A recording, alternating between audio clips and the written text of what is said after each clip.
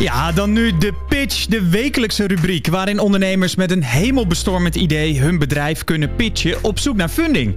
En wie weet hengelen ze hier in de studio die financier wel binnen. Er is alleen één regel, de pitch duurt één minuut. Bij ons aangeschoven is Berend Elbers. Hij heeft een groen en smaakvol idee. Ja, Berend, de floor is yours. De pitch. Ben jij degene met een briljant idee en ben je op zoek naar funding of een investeerder? Dit is de ondernemer pitch. Maak jouw plan wereldkundig binnen één minuut. Hi, mijn naam is Berend Eberson. Ik ben de founder van Groente. En het is mijn missie om zoveel mogelijk mensen te verleiden tot het eten van meer groenten op andere eetmomenten dan de usual suspects. En dat is eigenlijk een beetje begonnen op mijn zeventiende. Toen uh, had ik uh, vrij veel overgewicht, categorie obesitas. En ik had zoiets, roer moet om. Dus gaan focussen op mijn eigen voeding, gezondheidswetenschappen gaan studeren. En toen ik klaar was, had ik zoiets van, oké, dit wil ik ook voor andere mensen uh, nou ja, gaan creëren. Um, ik maakte een ontbijtproduct, Veggie Oats genaamd, waarmee je meteen bij je ontbijt al 25% van je aanbevolen dagelijkse hoeveelheid aan groente binnenkrijgt. Maar het smaakt naar taartsoorten. Ik heb een carrot cake, een banana en een apple pie. En toen dat helemaal stond, zijn we verder gegaan met veggie cakes. Dat is een kruidkoek, bananenbrood en een brownie, ook op basis van groenten. Um, dat inmiddels wordt verkocht bij de Appie, groothandels en cateraars. Um, dus nou, we hebben flink momentum te pakken en uh, kunnen enorm schalen. Um, dus daarom uh, ben ik nu uh, op zoek naar investering. Kijk, en volgens mij zijn we keurig binnen de tijd. Jawel, daar is het belletje. Super. Um, ja, Berend uh, Eberson van Grunte. Yes. Uh, ja, het is, het is kijkradio. Hè? Dus ja, voor de, voor de mensen die, even... die via YouTube uh, kijken. Uh, ik zie veggie oats en... ehm, ja, veggie dus, cakes. En de? Cakes. En de cakes. Um, vertel eens, je bent erop gekomen omdat je zelf last had van overgewicht. En dacht, dit moet beter en vooral ook makkelijker. Ja, ja, eigenlijk wel. Ik maakte dit al voor mezelf toen ik nog gezondheidswetenschappen studeerde. Ik had zoiets van, ja, weet je... Het, je kan overal wel uh, ergens groenten in uh, verwerken. Dus wat ik deed was eigenlijk, nou ja, ik maakte mijn groente appeltaart ontbijtje. Dat nam ik in van die jampotglazen en nam ik dat mee naar de studiebanken. En toen was ik klaar, toen dacht ik, ja, dat is best een leuk idee. Um, toen ging mijn vader het eten en na een tijdje ging mijn broertje het ook eten. En die eet als het even kan drie keer per dag kapsalon. Dus toen dacht ik, oké, okay, als hij dit een leuk idee vindt, dan zit hier misschien echt wel wat in. En dat is, nou ja, een beetje een soort van uh, de voorloper van de veggie oats geworden.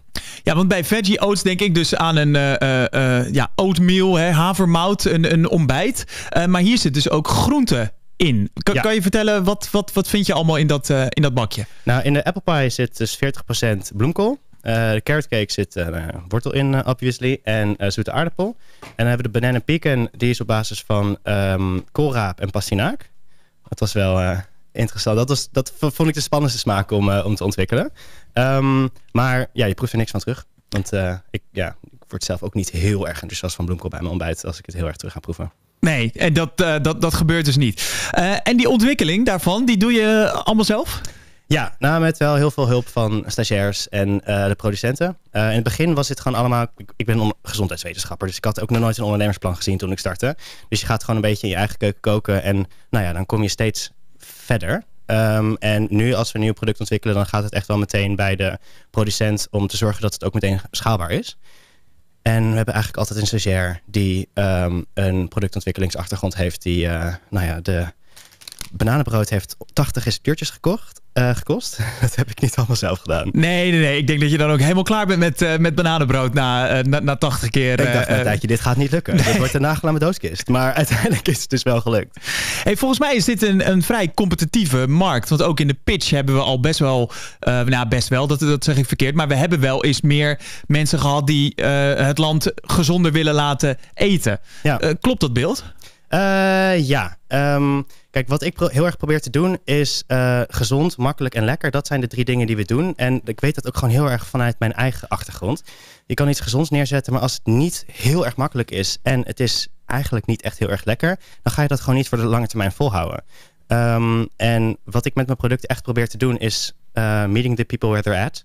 Um, dus als je bij de Albert Heijn to go staat... je staat op het station te wachten en je wil gewoon iets lekkers... maar wat ook voedzaam uh, en nou ja, makkelijk mee te nemen is dat is precies wat ik, wat ik ben gaan doen. Um, en ja, dat zie je volgens mij nog niet zoveel terug in andersoortige producten. Ja, meer, meer heb ik het idee uh, bij de avondmaaltijden. Dus dat, dat daar bijvoorbeeld uh, uh, gezondere alternatieven zijn voor een magnetronmaaltijd. dat is precies de reden dat ik me daar niet op focus. Ik wil net zeggen, dat, dat, dat is denk ik een bewuste keuze dat jij eigenlijk de dag wil beginnen met een... Ja. Kijk, we eten meer dan driekwart van Nederland eet te weinig groenten. Um, en dat komt omdat we het eigenlijk altijd alleen maar s'avonds eten. Um, en nou ja, er willen ze nog wel eens een blaadje slapenbroodje of een soepje tussendoor komen. Maar niemand heeft het ooit over het ontbijt. Zelfs in de richtlijnen van het voedingscentrum staat dat er niet bij. Want ja, weet je, wie gaat dat nou doen? Um, dus ik had dus iets van, ja, hier ligt gewoon 100% groentewinst. Uh, dus daarom ben ik me daar primair op gaan focussen. En toen met de, nou ja, de, de snackmomenten. We snacken, we eten gemiddeld 6,7 keer per dag uh, uit, uit mijn hoofd. Wat natuurlijk een heel raar getal is. Um, ja, daar zit ook gewoon, als je elke, bij elke hap een klein beetje groente binnenkrijgt, ja, dan kom je makkelijk aan die 250 gram. Op wie richt je je met uh, groenten? We richten ons met name in marketing op Stephanie. Dat ja. is de randstedelijk 28 jaar oude marketingmedewerker die elke dag in de trein zit en vindt het allemaal wel moet wel gezond, maar het moet voornamelijk ook makkelijk en lekker zijn. Uh, je kent het. Ja. Um, en als ze dan in de trein zit en ze heeft gisteren een uh, wijntje gedaan met, uh, met de Dinnies, dan is dit toch makkelijker dan zelf er een wijntje meenemen. Kijk, dat is een heel eikpersoon uh, voor, voor groenten. Dat hoor ik. Ja, ja, we hebben verschillende persona's. Want het is ook wel grappig. Want we hebben een webshop um, waar we eigenlijk een beetje mee gestart zijn. En dan toen zag ik dat een belangrijk deel van de doelgroep, tenminste de mensen die het kopen, dat is ook Stephanie, maar ook de moeder van Stephanie. Want er zitten toevallig ook best wel weinig calorieën in. En die zei is net even aan de lijn. Aha. Ja, het is een mooie bijvangst. Ik wil net zeggen, ja. Um, waar zijn jullie allemaal verkrijgbaar? Want ik hoorde net een, uh, een webshop. Uh, ja, dat is, uh, daar zijn we een beetje mee begonnen. Want ja. ja je gaat je marketingverhaal vertellen en moet het wel verkrijgbaar zijn. Maar de oats die zijn verkrijgbaar bij de Albert Heijn en de Albert Heijn To Go. Um, en de cakes die liggen met name in food service. Um, dus dat zijn, nou, die zijn B2B door, bij groothandels uh, te krijgen. En die liggen bij een aantal cateraars. Wel leuk, ze liggen nu bij de VU bijvoorbeeld. En daar heb ik zelf gestudeerd. Dus het voelde een beetje soort van, ah, circus rond. Ik wil net zeggen, bij bedrijfskantines en zo kan ik me voorstellen dat je dan uh, een, een healthy snack uh, neemt. Ja, en ook ziekenhuizen is belangrijke. En hogescholen. Ja, daar zit primair de doelgroep. Albert Heijn, grote speler. Hoe ja. ben je daar terechtgekomen? Want dat is niet makkelijk. Nee, nee daar, um, zeker in het begin. Weet je, de eerste keer dat ik met Albert Heijn sprak is echt al jaren geleden. Maar toen was het ook, ja, het is een heel leuk verhaal. En we, we gunnen je de wereld, maar dit gaat hem gewoon niet worden. Hè? Er werd wel ook gewoon echt opgenomen. Het was niet, uh, kom over twee jaar maar terug. Je hebt... Nou, toen dus wel. Maar toen, had ik, ja, toen was ik net gestart. En ik wist ook niet, hoe gaat die supply chain? Hoe schaal je? Hoe zorg je dat je houdbaarheid allemaal geregeld is? En um, na het anderhalf jaar een beetje soort van, nou ja uh, nog een beetje in de spielerijfase gezeten te hebben, had ik zoiets van: oké, nu moeten we de volgende stap gaan maken. En toen ook een producent gevonden die mega groot kan schalen. Als nu Albert Heijn en Jumbo zeggen: we willen het in alle winkels, dan uh, moet ik even een belletje geven en zorgen dat we voldoende winkels in huis hebben. Maar dan kunnen ze gewoon in één keer die productie opschroeven. En dat is van A tot Z, van planning, supply chain tot nou ja, facturaties, allemaal daaronder gebracht. Zodat het ook gewoon, nou ja, door het dak kan eigenlijk. Maar begrijp ik goed dat Albert Heijn enthousiast was, maar alleen twijfels had of je het volume aankomt? Dat was 3,5 jaar geleden. Ja. Um, en we zijn anderhalf jaar geleden zijn we gestart bij Albert Heijn To Go. Dat is nou ja. goed. In mijn ondernemingsplan stond dat al van dit is waar het moet komen te liggen. Ja. Um, en daar een beetje een soort van proof of concept gedraaid. En toen vanuit Albert Heijn To Go in contact gekomen met de category manager van Albert Heijn. Want dat zijn eigenlijk twee verschillende entiteiten. Mm -hmm. um, en we hadden een kennismakingsgesprek. En nou, ik was gewoon een beetje aan het vertellen. Dit is wat ik doe en dit is hoe jouw schap eruit ziet. En ik denk dat dit misschien wel je slechtste product is en dit je best roterende product. En nou ja, en toen was zij echt, dit is top. Dit wil ik over zes weken in het schap hebben. Gaat het lukken? uh, ja, dat is top. Dat kan wel. Um, dus het is ook gewoon lang genoeg volhouden en heel veel proberen te leren. D dat laatste moet je uitleggen. Um, nou, uh, in het begin zat ik heel erg van, ik wil mijn product pushen en dit is mijn belang. Maar um, ja, wat ik eigenlijk heel erg heb geleerd is, als je een salesgesprek met iemand hebt, het, het primaire is, wat kan ik voor jou doen? Wat draagt mijn product, wat dragen mijn producten bij aan de KPI's die jij hebt uh, ja. in hogerhand? Welk probleem los je op uh, Exact, ja. Um, en nou ja, dat, uh, zo liggen we dus bij Albert Heijn. En jij loste bij Albert Heijn op dat zij denk ik meer in het ontbijtvak met, met met gezondheid wilde doen. Want daar uh, zit toch, toch, veel ook yoghurtjes met, met hoog suikergehalte. Ja, en, nou, exact. Ja, dat, is, dat, dat was primair hoe ik gestart ben. Maar tegelijkertijd heeft het ook plantaardig. Heeft het een Nutri-score A en heeft het een relatief langere houdbaarheid.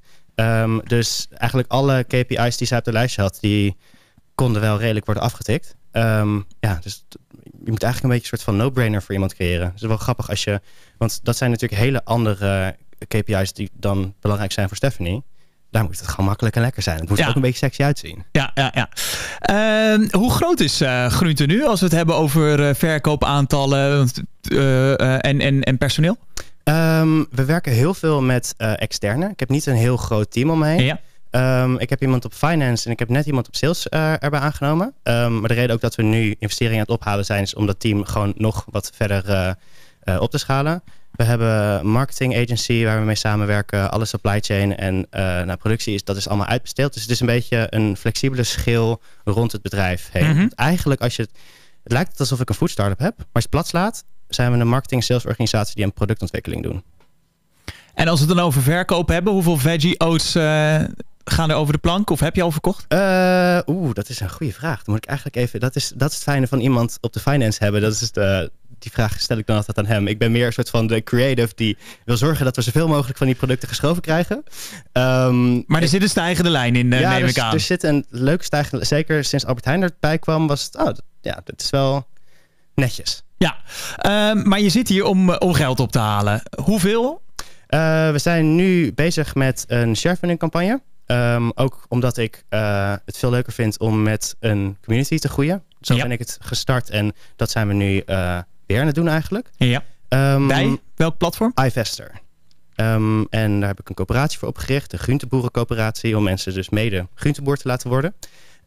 Met totaal van 150.000 euro. Wat we nu via die weg willen ophalen.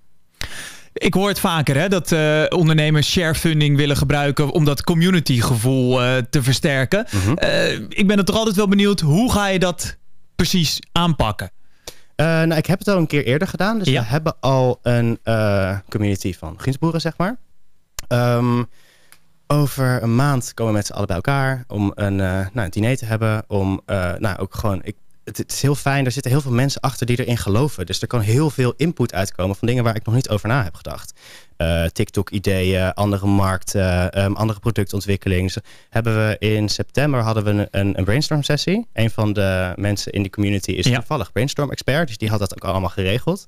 Um, en het is dan heel leuk om te zien wat voor een energie daarin zit. Dat ik echt, ik had even zo'n besef momentje van, wow, deze mensen staan hier allemaal omdat ik een idee ooit had. Dat is echt mega vet. Ja, en, die, en ze zijn dus onwijs betrokken aandeelhouders. Ja, ja, niet allemaal. Dat kan je natuurlijk ook niet van iedereen verwachten. Kijk, je kan instappen vanaf 250 euro. Dus um, voor heel veel, heel veel, mensen is dat gewoon... Nou, hier alsjeblieft, ik, ik support het. En het lijkt me leuk als ik daar um, nou, gewoon een leuke return on investment op krijg. Maar mensen...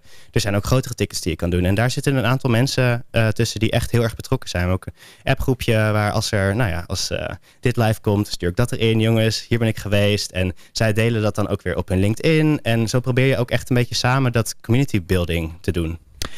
Uh, je zei het al, het bedrag, die 150.000 euro, uh, wil je gaan gebruiken voor het uitbreiden van een team. Is dat ja. alles of uh, ga je het nog ergens anders voor gebruiken? Nou ja, sales en marketing. Dus het is ook gewoon marketingbudget. Um, ja, dus we zijn nu veel organisch gegroeid en we doen dus ook nou ja, samenwerkingen. Um, maar als je echt de volgende stap wil zetten, dan heb je gewoon echt wat meer inkoop van media nodig. En als we de volgende stap concreet maken, wat zeg je dan?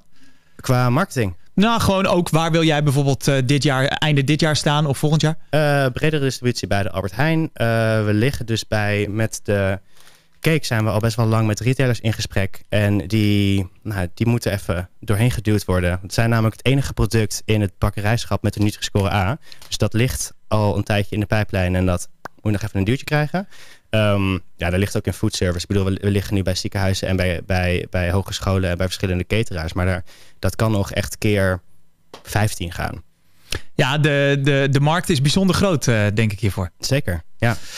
Uh, nog één keer, waar kunnen we uh, instappen om te investeren?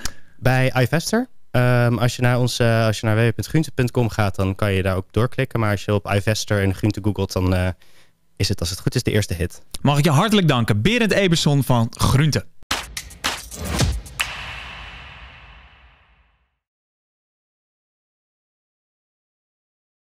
Vond je dit nou een leuke video? Like en abonneer je dan en mis niets van De Ondernemer Live.